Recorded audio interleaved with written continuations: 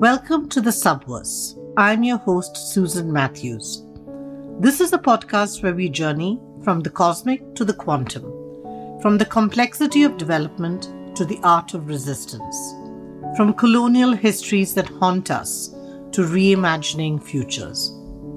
In this season of the Subverse, with water as our theme, we have journeyed from oral histories and big dams, mermaids and folklore, environmental histories, to water as kin, human rights and water, lessons in survival from marine mammals, all leading me to one conclusion, which is that water is a gift that keeps on giving. It is in this spirit that we now release our last episode for the season an interview with Dilip Da Cunha, who we are so honored to have as a guest. He is an architect and planner and is currently teaching at Columbia University. He has authored several books starting with Mississippi Floods, Designing a Shifting Landscape in 2001. In this interview, we spoke about his most recent book, The Invention of Rivers Alexander's Eye and Ganga's Descent, published in 2019. I really have learned a great deal from his work. His paradigm altering vision which presses us to see the artificial lines we have drawn that separate land from water, how river civilizations are constructed. The first colonialism that took a wetness which is everywhere and turned it into a land and water binary. This has had lasting consequences on how we design our settlements and create hierarchies between the settled and unsettled. To move to this paradigm of ocean as rain or wetness requires a new imagination, taking gradual steps, learning from indigenous and other communities who have extended and nurtured ways of living with wetness, and re heralding the celebratory event of rain. Dilip, thank you so much for joining us at the Subverse. It's a complete pleasure for us to have you with us. Well, it's my pleasure, Susan. Thank you for having me on. So, Dilip, I wanted to start by asking you about a recent book that you wrote in 2019, The Invention of Rivers, Alexander's Eye and Ganga's Descent. And in this book, you share a premise which I've also seen you share in a lot of your other work, which is about the line that separates land from water which you term as one of the most fundamental and enduring acts in the understanding and design of human habitation. I would love to know more about this line and the separation. I think that's a great way to begin. yeah. My answer cannot be short, but I will give it a shot. I mean, the invention of rivers is a culmination of work that I began, you know, with Anu, my partner, Anu. I should say Anuradha Mathur. And it calls attention as you say, to the line dividing land from water. But it began, I mean, I would say 25 years ago with the Mississippi, our work on the Mississippi. Over there, I mean, we were questioning the line that was drawn by European settlers when they first came to the Americas. And it was intentionally drawn to create land and contain water to a place. Now, today, the same lines are raised by levees, reinforced by concrete revetments in many parts, protected from pressure, extra pressure with floodways, floodgates, and so on, and then extended by drains, pipes, canals, and I would say a whole system whereby the river reaches everywhere I mean, it extends to faucets, it extends to toilets, it extends to sinks, you know, to parking lots, to roads. All of these things are now connected by the line of the river. So the line of the river is on edges gutters, edges canals. So our whole infrastructure is designed with a river imagination, or let's say with the image of the river, the way we draw the river figures then in the way we design landscape. So that was our point then that we were trying to make that the way we represent landscape is the way we design. So the line really comes into focus but it also it's basically about where we draw it and how we draw the line. That is what we were thinking about then. Today, we go a little further. We ask, why do we draw the line at all? I mean, you've got to think about it for a moment what it takes to draw a line to separate land from water. I often ask my students, can you separate land from water? I said, just go to a river bank where water is seeping, soaking, extending. Where do you draw the line? But yet, we have been educated to see this line. So, I mean, there are three points that I would like to make when it comes to drawing the line. First of all, the line is just an amazing invention. It's sheer genius that a line, as Euclid defined it, is a breadthless length. In other words, it is all length, but no breadth. So I can draw it and it vanishes. I don't see it because it has no breadth. Now, how many people would think of this? Would think of this line or conceive something like this? I know that we use the line casually. We think that people are standing in line. We see trees in line. We talk about the edge of a road as a line. But that is all cultivated. It's a cultivated viewing of place. I can guarantee you that there are, I mean, that indigenous peoples who were not introduced to the line do not necessarily see a line. I mean, we cannot assume that they do. That is point one. So the line as sheer genius and the line as invention. The second is time. When do you draw the line to separate land from water? You have to choose a moment when it is not raining, or let's say more broadly, not precipitating, when it is not fogging, so that I can see I basically create a fair weather moment. Now, this is not something that is easy to find. It is something that I have to constitute a fair weather moment in which to survey or to plot the line. Because I can't have water going all over the place. I have to wait for water to recede to at least tell me that it is somewhere behind the line for me to draw it. So, I mean, it's a remarkable invention, this moment of time. And this moment of time is one in which we have constructed reality. So, other moments, or let us say rain, or, or fog, or mist, or dew, or a shower, basically happens as a visitation. I live in a place where water is contained to rivers, to lakes, to seas. And rain now becomes a visitor. It comes and it goes. But that is because I choose that moment when water is flowing on the Earth's surface or gathering on the Earth's surface in which to constitute my reality. So I have a reality and now I have ephemerality. That's fascinating. The third point is the strange outcomes of drawing a line. You have flood. Now, flood is taught to us as a natural event. I mean, I know that there are times in which flood is considered to be man made. But when we learned it in school, we learned, for example, that the Nile floods and that it flooded naturally. How can flood be natural when it crosses a line that we have drawn? Now, this is something that I find absolutely surprising that no one has questioned this. No one has questioned this act of drawing the line and constituting flood when they constitute a river. They come together. Flood and river come together. So, I mean, it boggles the mind because what happens then is that you have a flood ecology, you have a flood pulse, you explain ancient civilizations as, I mean, whether you see them as despotic or otherwise, you see them as controlling flood. I mean, did these people really see flood? I mean, did they draw a line and then saw water crossing it and then constituted flood? Because then you make flood into an event that you can control.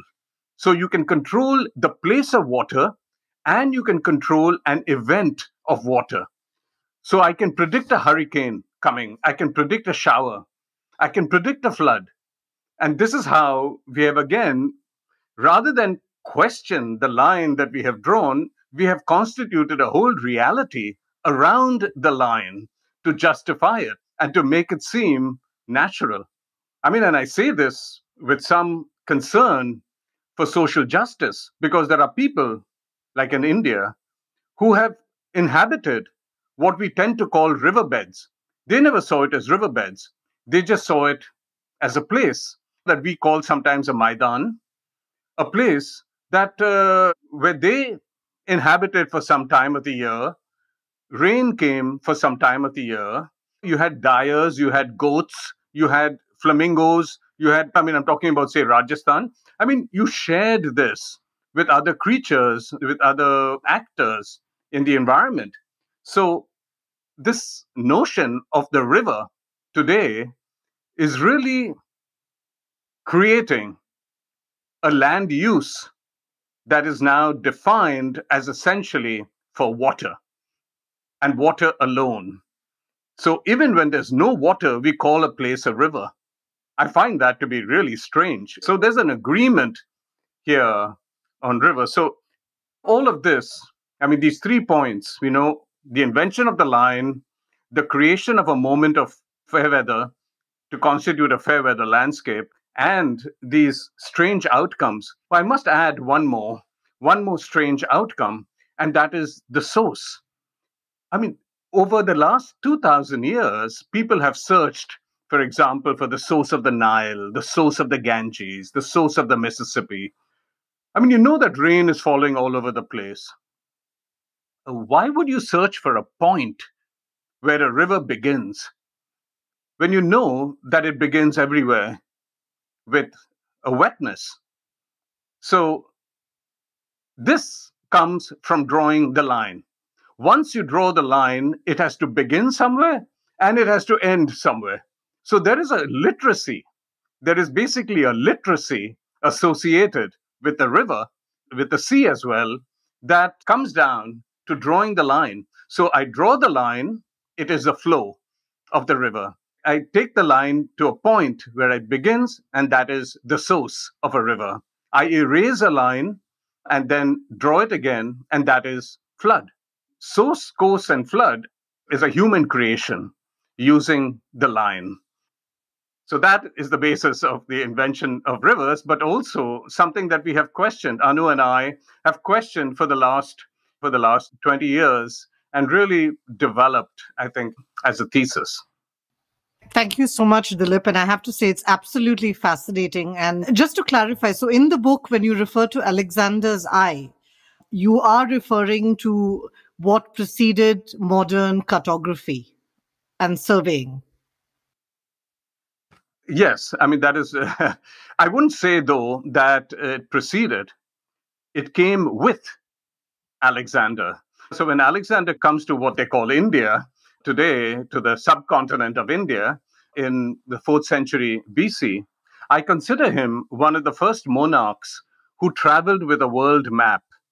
It was just before him in the school of Miletus where the world map was invented on the basis of, and I don't want to introduce it just yet because I think it is something more akin to a, something that we're sort of developing now, and that is the surface. The idea of the surface and the line were creations of that time. And geography as a discipline came about know, before Alexander arrives. But he is educated. He's educated by Aristotle into these disciplines, and one of which is geography. So when he comes, he's not really into empire building alone. He's searching for the edge of the earth to draw on the map. I mean, and so if you have to draw on a map, you have to use lines to draw a map. You have to contain water to a place. So I see Alexander traveling with a geographic eye. He's traveling with a geographic eye, and this is a very peculiar eye. It's an otherworldly eye. It's an eye that is positioned high in the sky and looking down at a surface and saying, This is blue and that is brown or green. So you are identifying this or making this separation in order to make sense of place. You've got to ask what was before. And what was before was this profuse wetness that he walks into. I mean, this is a supposition that I can explain further at some point. But he needs to constitute land and water in order to colonize. That is the first act of colonization, which is often missed. We often see colonization as the occupation of another person's land or the taking of other people and their land and so on. But you cannot have colonization without the constitution of land. And that is what Alexander was doing. So the map, he was doing it for the sake of the map and for the sake of colonization. So they go together. So I really see geography as the discipline of colonization. Thank you, Dilip. And so, Dilip, if I may just ask, because you talked about the line and length and breadth, but what about depth? So, if I go into a river or if I go into the sea, the thing that I would think of as a person going into the water is one of depth and one of breathing. So, how does this constructed line connect with depth? See, the way we see it in design is by plan and by section. That's how we design. But there is a way by which plan dictates the terms of section. So, geography, or let's say the map, is how we identify site. Then you survey the site, and then you discover that it has a topography, and a topography introduces depth, it introduces height. So it becomes an add on. So the way I look at it, I mean, it's interesting when the way you spoke about water, I mean, you spoke about depth, you spoke about water. You step into water actually to see depth. And this is one of our favorite distinctions that we make that when I approach the sea from land, the sea is beyond land's edge. So land has an edge.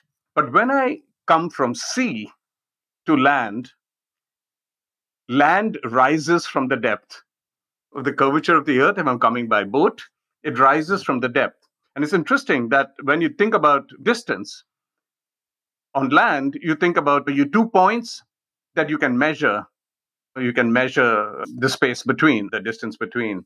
But when you're at sea and you cannot fix those points, you realize that space is not of importance, it's about time.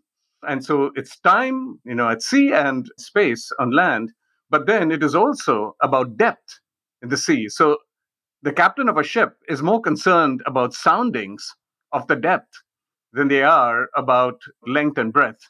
And so it is a measure to some extent of water rather than land, but it is secondary when you're on land. It becomes a secondary situation, and we are led by plan more than we are by section. So much of our work has been about elevating the section and allowing it to lead design rather than follow the plan. Wonderful. Thank you, Dilip. And here in the book, so you talk about Alexander's Eye and then you talk about Ganga's descent. And I would like to hear more about Ganga's descent and also kind of have it connect with the sort of the items that you've already talked about earlier. So, what is Ganga's descent in the book? When we think about Ganges and Ganga, we think of them as synonyms.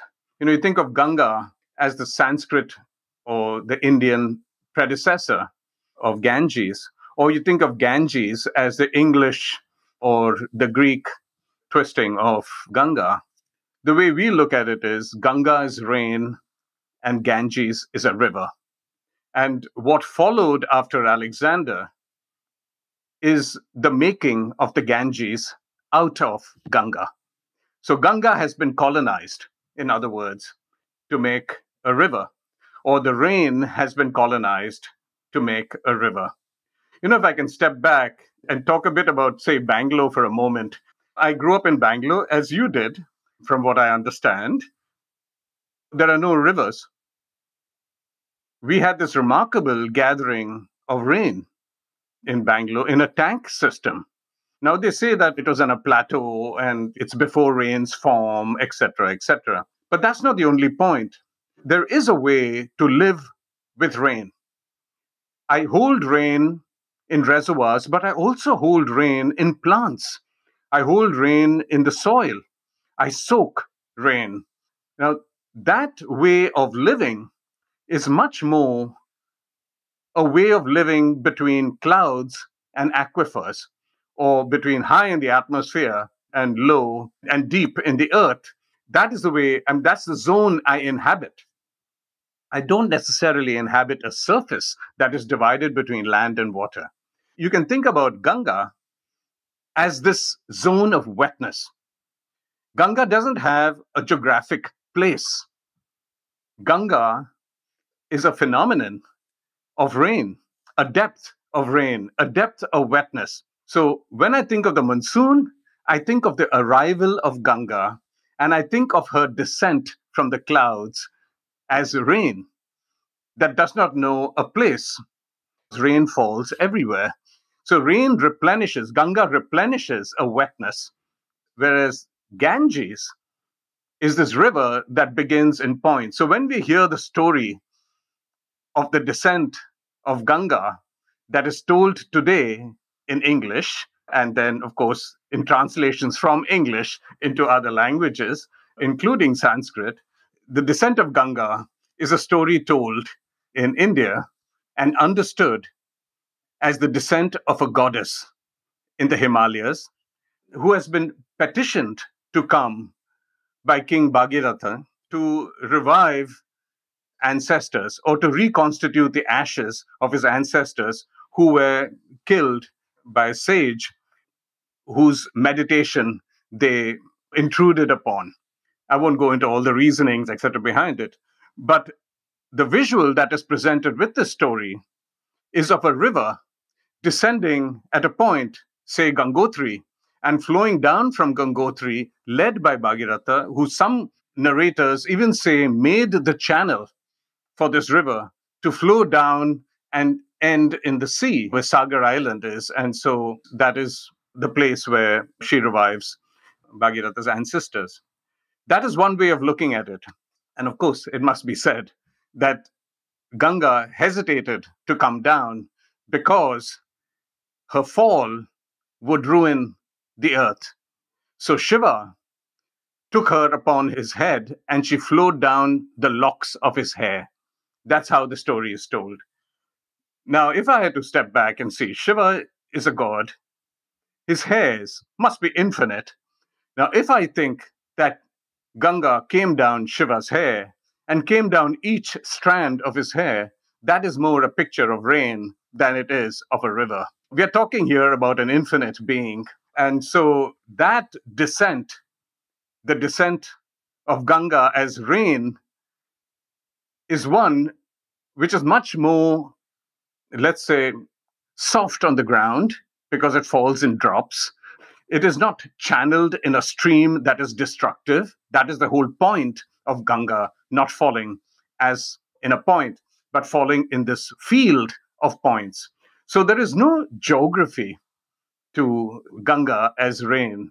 So the descent of Ganga, to some extent, stands in opposition to Alexander's eye, so when I talk about Alexander's eye and Ganga's descent, it is also Alexander's ego of wanting to control the place of Ganga and Ganga's descent as D I S S E N T of resisting his drive. So today, despite her being put in a channel, she floods. She's all over the place. But you can't control her but that is because she's a goddess. You don't put her between two lines.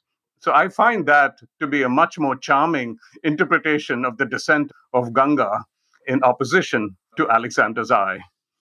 Thank you so much, Dilip. I just love the imagery, you know, and I know you've also referred to it as ocean of rain. And it's just lovely also to kind of visualize. I have a question for you about wetness because this term that you use. And I found it quite interesting that from what I understand, that we don't have receptors in our skin that sense wetness.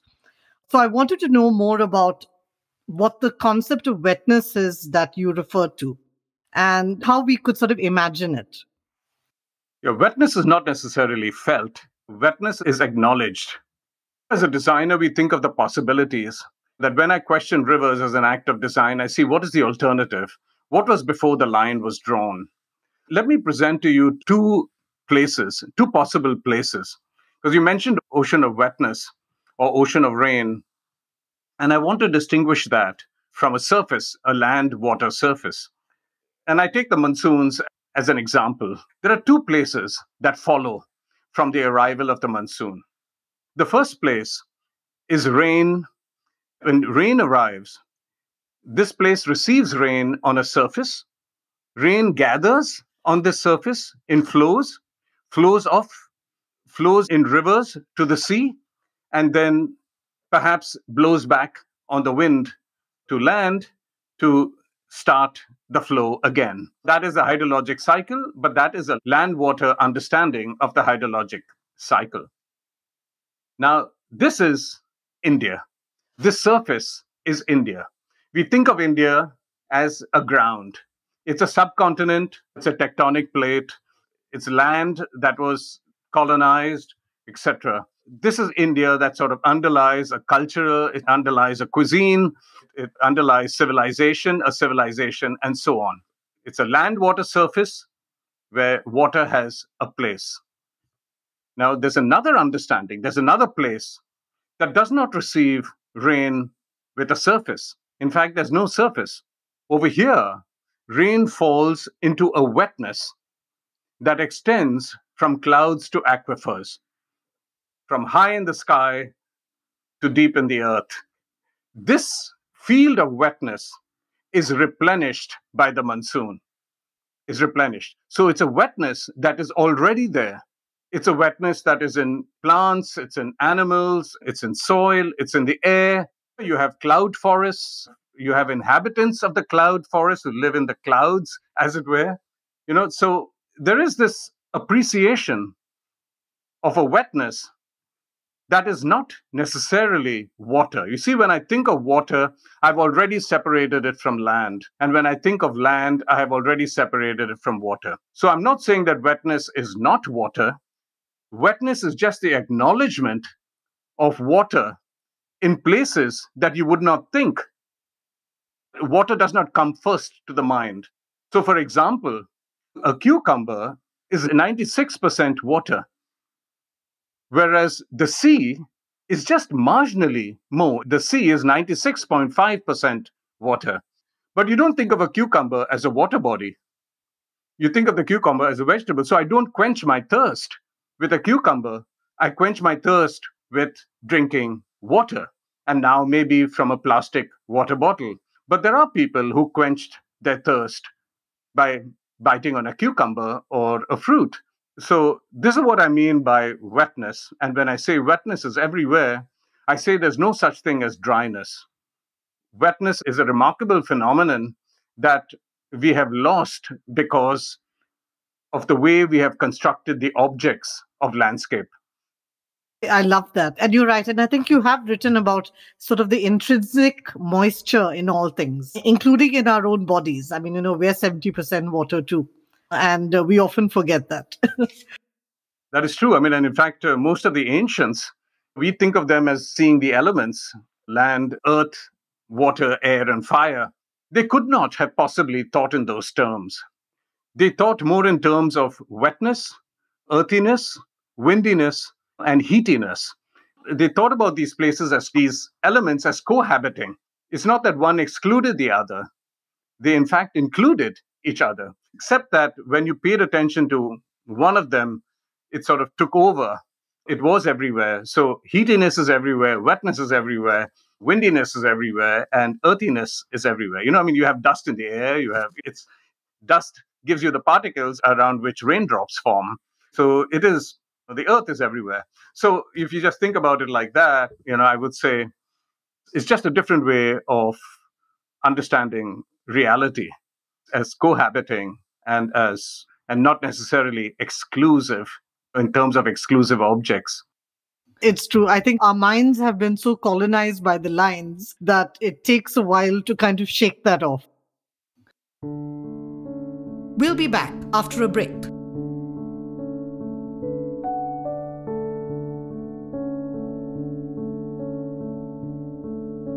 The more I'm reading your work, I'm questioning sort of my own education and how we study geography and geometry, for example. It's absolutely fascinating for me. And I think this leads us uh, well into the next question, which is to talk about city and settlements, because you talked about lines, you talked about surface, how we create these artificial distinctions between land and water and other elements. So, in terms of the city and design, one thing that you have written, which I loved, which is that the city today is the guardian and promoter of the settled ground.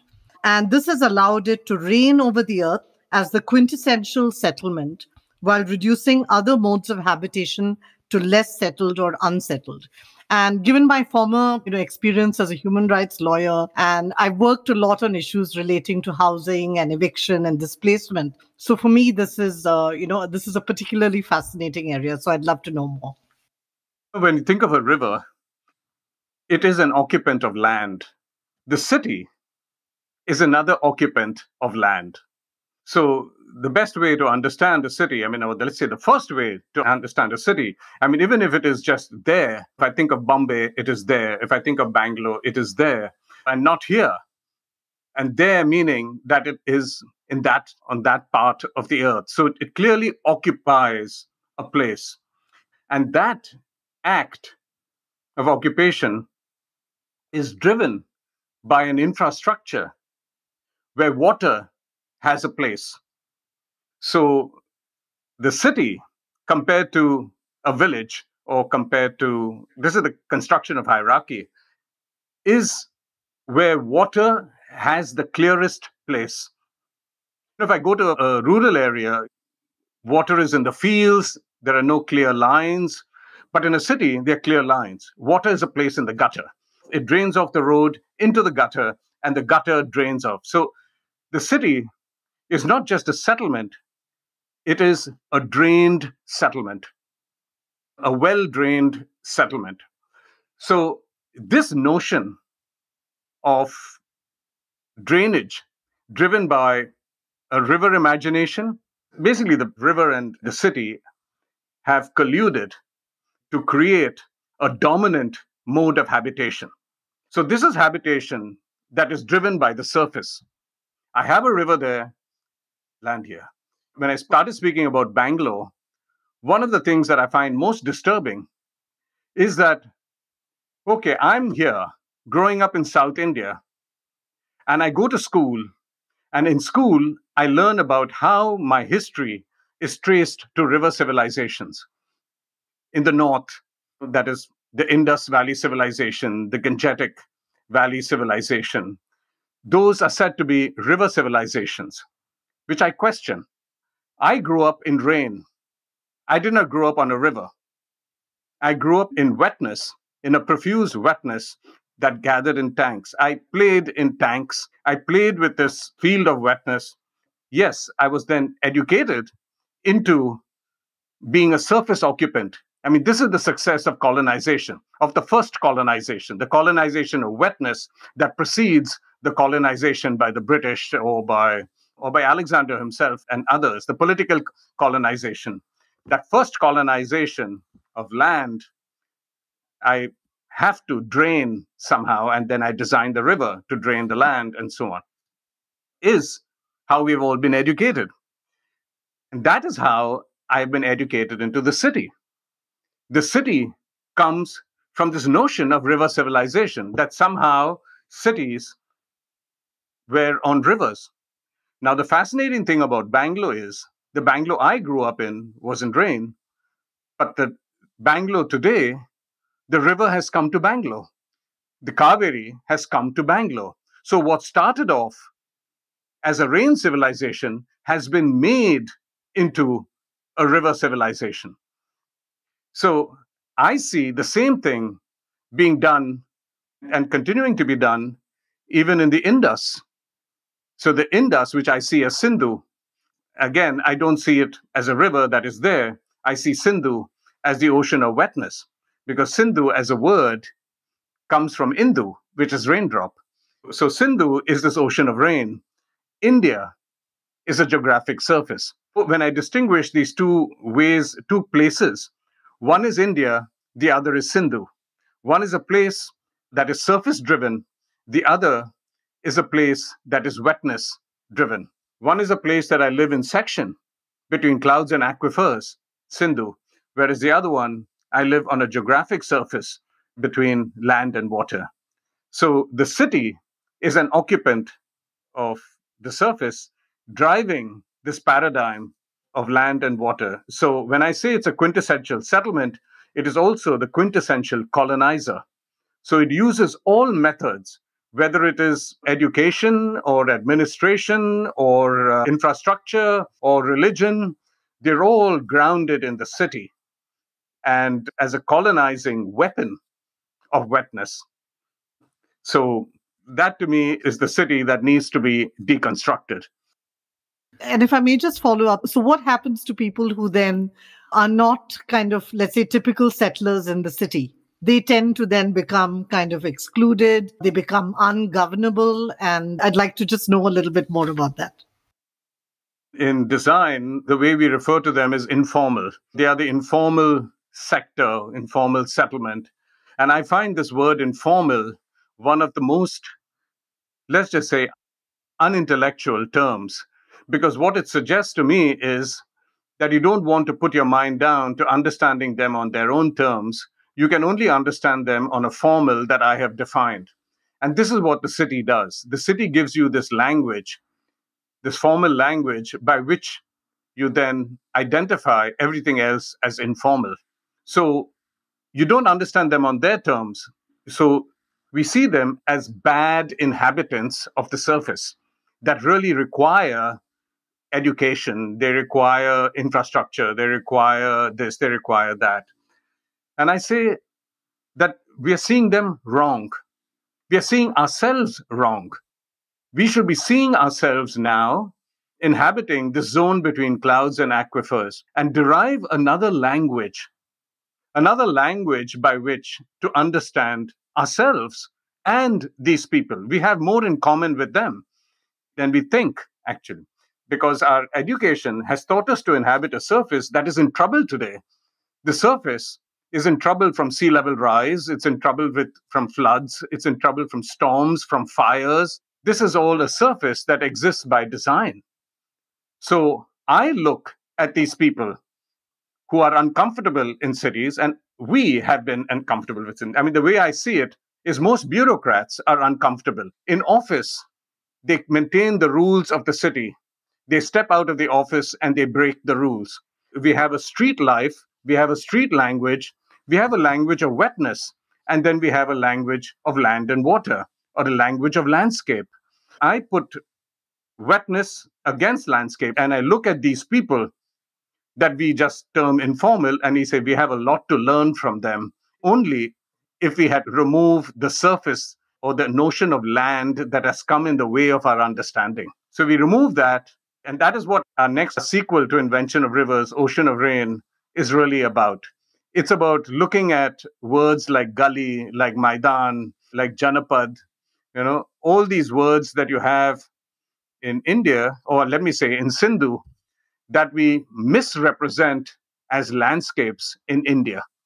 So I look at India as not a place that was colonized by the British. I look at India as the weapon of colonization by which Sindhu continues to be colonized by our governments, by our education system, by our administration, and so on. Thank you so much, Dilip. And just following up from what you just sort of said, so how can we start shifting to thinking about kind of a landscape of ambiguity, of living between the cloud and the aquifers? And how do we also approach, let's say, our human systems of administration, property, so many legal systems in which all this has been sort of reinforced and or even things like disaster management given sort of sea level rises and the rise in storms how do we begin to address let's say some of these one of the important things i mean i want to say and i can't emphasize it more is that Doing away with the line between land and water is not to construct ambiguity. These are ways by which the other has been constituted by the dominant power. So we tend to look at the informal sector, or we tend to see the rural, or we tend to see rain as something to demean because there is precision. So rivers have precision, rain does not. Rivers can be predicted, rain is unpredictable. So we have done everything to actually demolish rain. I mean, you just turn on the TV and hear the weather. The moment there's rain, the weather is dull, the skies are gray, the moods are bad. There's a whole world that has been constituted to eradicate the other or to demean the other. And while elevating rivers, while elevating the surface, while elevating land, and all this is now called into question of social justice issues as well as climate change issues.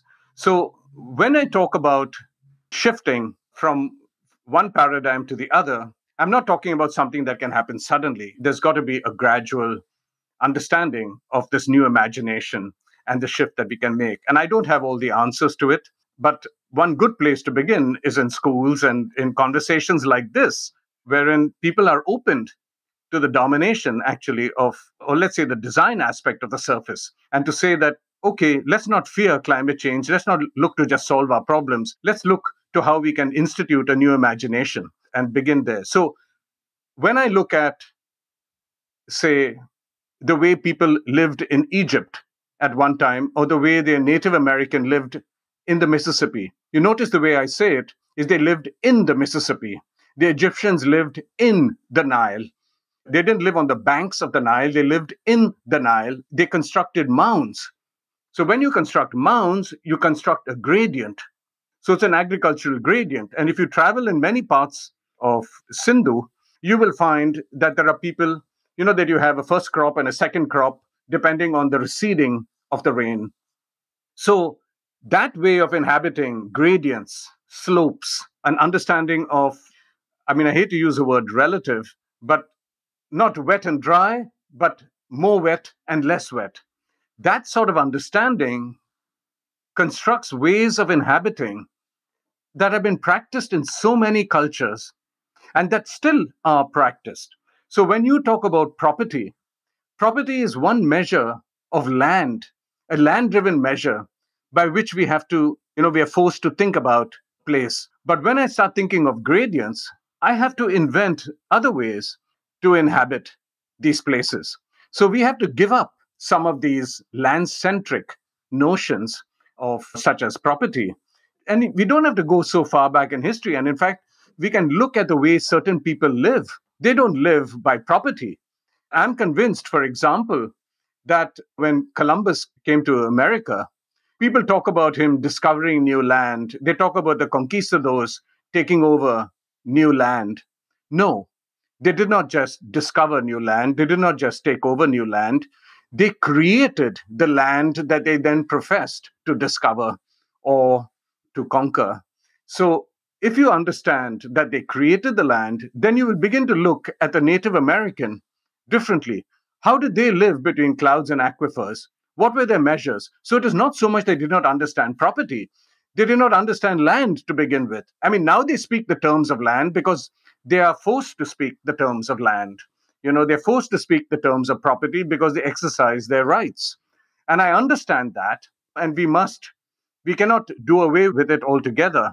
But if we have to transition, maybe we can move gradually. And this is what we do in our design projects. We introduce this imagination and we design with the possibility, for example, a flood wall, in the short term being a flood wall or a levee or an embankment, and in the long term becoming a high ground with a gradient. So it's a matter of how you approach place and allow for this transition of imagine. But first, we need to acknowledge that we're talking about a completely different paradigm. We're talking about a new imagination and a new way of understanding place and design. Thank you. Thank you so much, Dilip. And I mean, I completely agree with you. And I think it's also giving up this fiction of control and thinking that we can always have everything sort of in order and in place. And what you refer to as property, absolutely. It it was how people named things, they appropriated it. You know, they put their flags, and that's how place became place. I mean, just to one point, if I can make with the idea of control, the notion of controlling when you have distinct entities, landscape entities like a river, like the sea, land, and so on, or a tree, there is a desire to control that is driven with a certain finiteness. Whereas to move to an ocean of rain or an ocean of wetness is not to lose control, but it is to devise ways by which you live with things.